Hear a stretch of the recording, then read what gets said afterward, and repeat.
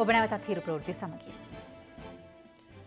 පරිසර විනාශයන් සම්බන්ධයෙන් සොයා බලා දඩුවම් ලබාදීම සඳහා පරිසර අපරාධ ඒකකයක් පිහිටවිය යුතු බව ජනතා විමුක්ති පෙරමුණේ බස්නාහිර පළාත් සභා මන්ත්‍රී කෙඩි ලාල්කාන්ත මහතා පවසනවා.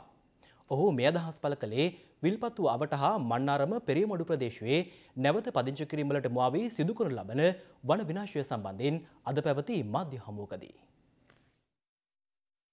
නැවත පදිංචි කිරීම්වලට මුවාවමින් වෙල්පතු රක්ෂිතය අවට කල්ලාරු වනය හා පෙරීමඩු වනරක්ෂිතය සුණු විසුණු කිරීමේ සූක්ෂම ක්‍රියාවලිය හිරුසි අයේ හරහා අප පසුගේ කාලයේ දිගින් දිගටම වාර්තා කළා. පටු දේශපාලන අරමුණු මුදුන් පමුණවා ගැනීම සඳහා සිදු කළ මෙම වන විනාශය පිළිබඳව අපගේ හෙළිදරව්වත් සමඟ සමාජයේ ඇතිවූයේ දැවන්ත කතිකාවක්. එ අතරතුරයි ජනතා විමුක්ති පෙරමුණු ක්‍රියාකාරීන් මෙම වන විනාශය පිළිබඳව සොය බැලීම සඳහා අදාළ ප්‍රදේශයේ සංචාරයක නිර්ත වුණේ. ලොකු ප්‍රශ්නයක් නෑ. එක මාධ්‍ය මවනං සන්දෝසින් කියන්න පුළන් හිරු කියලා මාධ්‍යයක්. හරියට ලොකු ෆිල්ම් වගේ පෙන්න්නනවා දිගටම පෙන්න්නනවා එක දවසක් නෑ. දිගටම දවස හතෙන් පෙන්න්නනවා. මෙහිදී මන්නාරම් දිස්ත්‍රික් ලේකම්වරයා දිගින් දිගටම පවසා සිටියේ. අදාළ ක්‍රියාවලිය නීත්‍යානුකූලව සිදු කර ඇති බවයි. නීත්‍යානුකූලද මේ ඉඩන් දැන් දෙන විදිිය? දීලා. ඉවරයි. මේ හැමෝම දැනගන්න ඕන මේ කතා කරන්නේ දිස්ත්‍රික් ලේකම් මන්නාරම දිස්ත්‍රික්කයේ ඉඩම් අත්පත් කර ගැනීම හා වනාන්තර හෙළි කිරීම් වහාම ක්‍රියාත්මක වන පරිදි ජනාධිපතිවරයා අත්හිටුවීමට නියෝග කළ අතර ඒ පිළිබඳ වාර්තාවක්ද ඉල්ලා සිටියා. මහවැලි සංවර්ධන සහ පරිසර මාත්‍යංශයේ ලේකම් නිහල් රූපසිංහ මහතා ඇතුළු පිරිස සකස් කළ වාර්තාව ඊයේ ජනාධිපතිවරයාට බහර දීමෙන් අනතුරුව මාධ්‍ය හමුවක් පැවැත්තුවා. එහිදී හිරු මාධ්‍යවේදීන් නැගූ ප්‍රශ්නවලට නිලධාරීන් පිළිතුරු සැපයුවේ මෙලෙසින්. මේසා විශාල විනාශයක් වෙනකන් ඇයි නිලධාරීන්ට අවදි වෙන්න බැරි වුනේ?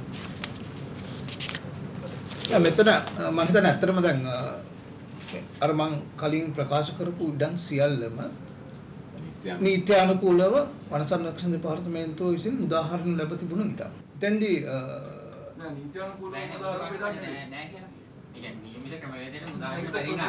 නියමිත මෙහෙමයි. නියමිත ක්‍රමවේදය කියන්නේ එතන අපි පාවිච්චි කරලා තිබුණ නැති එකම දේ තමයි අර තියෙන ගස් ටික රාජ්‍ය සංස්ථාවට දුන්නේ කියන කතාව. නෑ නෑ පනතෙම තියෙනවනේ පනතෙම තියෙනවනේ අකරසියට වැඩියෙන් නිදාස් කරන්න කලින් පරිසර වාර්තාවක් සකස් කරන්න ඕනේ ඒවා මූලික කාරණා. නමුත් ඒවා මේ මේ මේ මේ නිදාස් කිරීමේදී සිද්ධ වෙලා නැහැ. ඒතකොට මේ නිදාස් කිරීම එකක්වත් නීති අනුකූල නැහැ. ඒක ඔබතුමා ඒක පිළිගන්නවනේ. යම් කිසි ගැටලු සහගත තත්වයක් හින්දා තමයි ඒ කාලය ඇතුළත මේ ටික සිද්ධ වෙනවා. අර අනිත් ඒවට තිබිච්ච කොන්දේසිය තිබුණේ නැහැ. පෙරේමඩු වලට එනකොට ඒක ලොකු ගස් තිබ්බා. ඒ නිසා ඒක දව සංස්ථාවට බාර දුන්නා. හැබැයි දව සංස්ථාවේ නෙවෙයි ගස් ගෙනිච්ච. ඔබතුමා පිළිගන්නවද? එහෙන් මටත් පැමිණිලි තියෙනවා. අපි ඒ ගැන ඒ පැමිණිලි සම්බන්ධව ඔබතුමා ගත්ත ක්‍රියාමාර්ග ඉතින් ආරක්ෂක අංශ වලට දැන්ලා තියෙන පොලිසියට පරීක්ෂා. ආරක්ෂක අංශ දැනුවත් කරලා තියෙන ඔබතුමා. ඔබතුමා ඒ සම්බන්ධයෙන් ගත්ත ක්‍රියාමාර්ග? ඒක තමයි ඉතින් මම ගන්න ක්‍රියාමාර්ගය. අර පොලිසියට තමයි බාර දෙන්නේ ඒවා හොයන්න බලන්න කොහේරි ගෙනෙන්න අල්ලගන්න කියලා.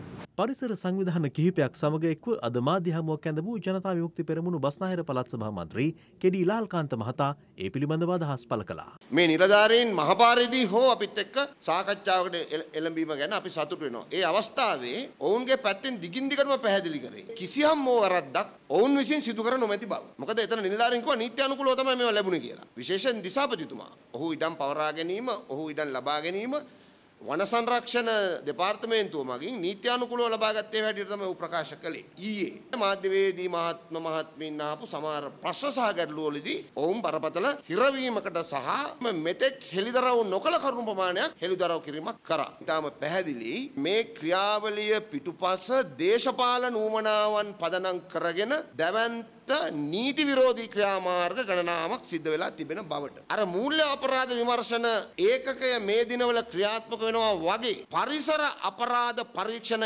ඒකකයක් වහාම ක්‍රියාත්මක වීමේ අවශ්‍යතාවය තිබෙනවා. මේ විල්පත්තු ආශ්‍රිතව තිබෙන මේ පරිවාර වනාන්තරවල කරපු සියලුම වන විනාශය විගණනය කරන්න. ඒ විගණනය නොකළොත් එහෙම ඒක හානි පූර්ණය කරන්න බැරුව යනවා. පේන්න තියෙන කුඩා ප්‍රමාණයට අමතරව වනාන්තරය ඇතුලේ අක්‍ර 2000ක් කපලා තියෙනවා. ජනාධිපතිවරයාගේ නියෝගයෙන් ප්‍රමාණයක් සෑහීමකටපත් වෙන්න බෑ.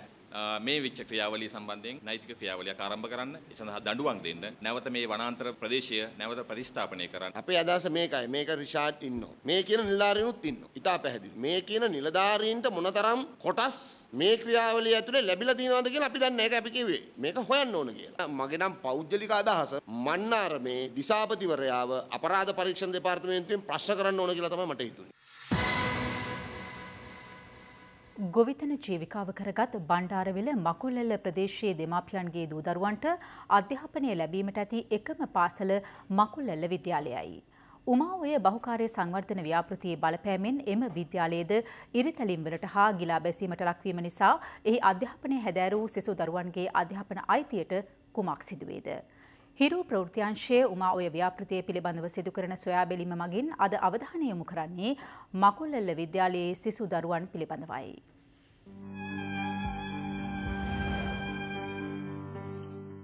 ලොකු වෙලා ටීච කෙනෙක් වෙන්න ඉගෙන ගන්න හොඳ ඉස්කෝලයක් ඒක නිසා අපිට හොඳ ඉස්කෝලයක් ලබා දෙන්න. මේ හංසනා මේදනී. බණ්ඩාරවෙල මකුල්ඇල්ල විද්‍යාලයේ හතරවන ශ්‍රේණයේ ගුණම ලබන හංසනා මේ ඉල්ලීම කරන්නේ මකුල්ඇල්ල විද්‍යාලයේ සියලුම සිසුන්ගේ අනාගතය වෙනුවෙන්. එක්දහස් නවසය පනස් හතරේදී ආරම්භ වන මකුල්ඇල්ල විද්‍යාලය එවක පටන් මේ දක්වා ගම්මාන රැසක සිසුදරුවන් විශාල පිරිසකට අධ්‍යාපනය ලබාදුන් තක්සලාවයි. උමා ඔය බහුකාර්ය සංවර්ධන ව්‍යාපෘතියේ බලපෑම් එම විද්‍යාලයටද එල්ලවන්නේ එහි අධ්‍යාපනය හදාරන මේ දවාදරුවන් එකසිය හතරකගේ අනාගතයට අභියෝග කරමින්. අපේ ස්කෝලෙ ගිලා බැස්ස අපිට ඉගෙන ගන්න තැනක් නැති හින්දා අපි පන්සලට ආවා. ශිෂ්‍යත්ව විභාගෙ ලියන්න ඉන්නේ මම මකුල්ලැල්ල විද්‍යාලයේ ගිරා බෑලා ඒක නිසා අපිට ඉස්කෝලෙන් යන්න වුණා. උමා ඔය බහුකාර්ය සංවර්ධන ව්‍යාපෘතියේ බලපෑමෙන් දෙදහස් දහ හතරේ දොළොස්වනි මස විසි හය වන දින සිට මකුල් ඇල්ල විද්‍යාලයේ ගොඩනැගිලි පහම ඉරිතැලීම්වලට සහ ගිලා බැසීම්වලට ලක්ව තිබෙනවා. දෙදහස් පහළවේ පෙබරවාරි දොළොස් වනදා එම විද්‍යාලයේ ශිෂ්‍ය ශිෂ්‍යාවන්ට සිය පාඨශාලාවෙන් ඉවත්වීමට සිදුවන්නේ එහි ප්‍රතිඵලයක් ලෙසයි. එතැන් සිට විද්‍යාලයේ ප්‍රාථමික අංශය මකුල් ඇල්ල පුරාණ විහාරයේත් ද්විතීක අංශය මකුල් ඇල්ල ප්‍රජාශාලාවෙත් පවත්වාගෙන යනවා. දෙදහස් පහළවේ දෙවැනි මස විසිවෙනි දින පාසල් භූමිය පිළිබඳව යළි පරීක්ෂා කරන ජාතික ගොඩනැගිලි පර්යේෂණ සංවිධානය නිර්දේශ කරන්නේ එම ගොඩනැගිලිවල පාසල් පවත්වාගෙන යාම නුසුදුසු බවටයි. මේ නිසා මකුල්ලෙල්ල විද්‍යාලයේ ද්විතීකංශය පවත්වාගෙන යන ප්‍රජාශාලාව පිහිටි වන සංරක්ෂණ දෙපාර්තමේන්තුවට අයත් රක්ෂිතයේ ස්ථානයක් තාවකාලික පාසලේ ගොඩනැගිල්ලක් ඉදිකිරීම සඳහා ලබා දෙන ලෙස ඌව පළත් සභාව දෙදහස් පහළවේ හතරයි තුන්වැනි දින මහවැලි සංවර්ධන සහ පරිසර අමාත්‍යංශයට ලිපියක් යොමු කරමින් ඉල්ලා තිබෙනවා. එමෙන්ම අදාළ ඉදිකිරීම සඳහා ඌව පළාත් සභාවෙන් රුපියල් 1,34,400ක මුදලක්ද වෙන් කර තිබෙනවා.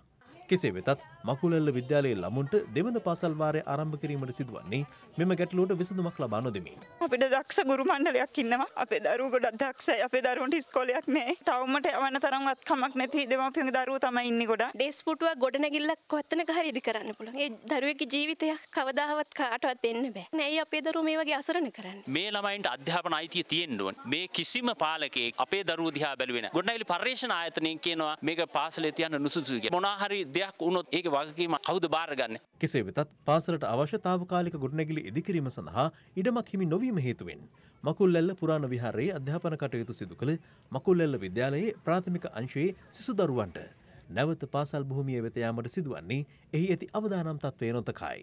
භූමිය ඉරිතැලීම් ගිලා බැසීම් හේතුවෙන් මකුල්ලෙල විද්‍යාලයේ ළමයින්ට තමන්ගේ අධ්‍යාපන කටයුතු වෙනත් ස්ථාන දෙකක සිට සිදු කරන්නට සිදුවනා.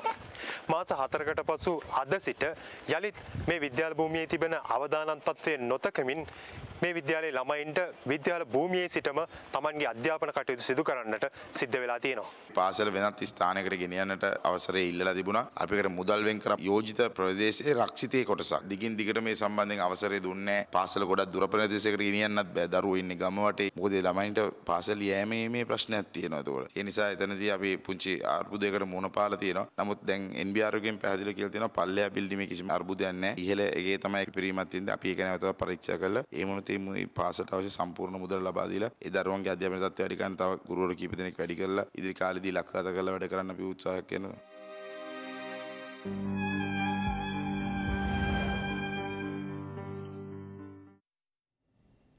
තවත් දේශීය පුවත් කිහිපයක් සමගින් දැන් රට වටා හිරෝ. රට වටා හිරෝ. පිටපැත්තර ප්‍රාදේශලයකම් කාරල්ල ශ්‍රවනාගාරයේදී ගැබෙනි මවුරුන් සඳහා පෝෂණමලු ප්‍රධානය කිරීමේ උත්සවයක් අද පෙරවරුවේ පැවැතුනේ අග්‍රමාත්‍ය කාරාල මණ්ඩල ප්‍රධානී සාගල රත්නායක මහතාගේ ප්‍රධානත්වයෙන්. මොරවක වැලිව ප්‍රජාශාලාවේ පැවති ගැබෙනි මවුරුන් සඳහා පෝෂණමලු බෙදාදීමේ වැඩසටහනකටද රත්නායක මහතා සහභාගී වුණා. ඉන්දියාවේ සිට මෙරට රැගෙන ආ රුපියල් කෝටි අටක් පටිනා හෙරොයින් කිලෝග්‍රෑම් අටයි ග්‍රෑම් පන්සිය විසි අටක් සමඟ පුද්ගලයකු පොලිස් මද්‍රව්‍ය කාරංශය අත්අඩංගුවටගෙන තිබෙනවා. පොලිස් මාධ්‍ය ප්‍රකාශක සහකාර පොලිස් අධිකාරී රුවන් ගුණසේකර මහතා පැවසුවේ මාරවිල තොඩුවාව මුහුදු තීරයේ ලඳු කැලෑවක තිබී අවස්ථා දෙකකදී මෙම මද්‍රව්‍ය තොග්ගේ සොයාගෙන ඇති බවයි. පසුගේ අප්‍රේල් විසි පස්වනදා අඟුණුකොළ පැලැස්ස ප්‍රදේශයේ ජනාධිපති මෛත්‍රීපාල සිරිසෙන මහතා සහභාගි වූ රැස්වීමකට ගිනියවියක් රැගෙන පැමිණි යුද හමුදා කෝප්‍රල්වරයා මේ මස දහ නමවනදා දක්වා යළිත රක්ෂිත බන්ධනාගාර ගත කළා. ඒ අඟුණුකොළ පැලැස්ස මහේස්ත්‍රාත මයන්ත සමරතුංග මහතා හමුවට ඉදිරිපත් කිරීමෙන් අනතුරුවයි. අතිකරු ජනාධිපතිතුමා රැස්වීමක යම්කිසි ආරක්ෂාව පිළිබඳ ප්‍රශ්නයක් තියෙනවා මේ අහිංසක මිනිස්සු හිරේ දාලා හරියන්නේ නැහැ. ආරක්ෂාව බිඳපු නිලධාරියව අතනකොට ගන්න ඕනේ ඉස්සෙල්ලා. ආරක්ෂාව බිඳපු නිලධාරියා තාමත් ජනාධිපතිතුමාගේ ආරක්ෂකයන්ට ආරක්ෂාව දෙන්න. රටවටා හිරෝ සූදානම හිරුරාත්‍රී හතෙන් සමුගෙන යන්නට. පැත්තක් නැතුව ඇත දැනගන්න ඔබේ චංගම දුරකථන චාලය අනුව තිරේ දිස්වන පරිදි හිරු ප්‍රෘතිය සෙම සේවාව සක්‍රිය කරගන්න. අපි අලිහමුවන්නේ අදරාත්‍රී නමය ඇතිහට. අයිබෝවන්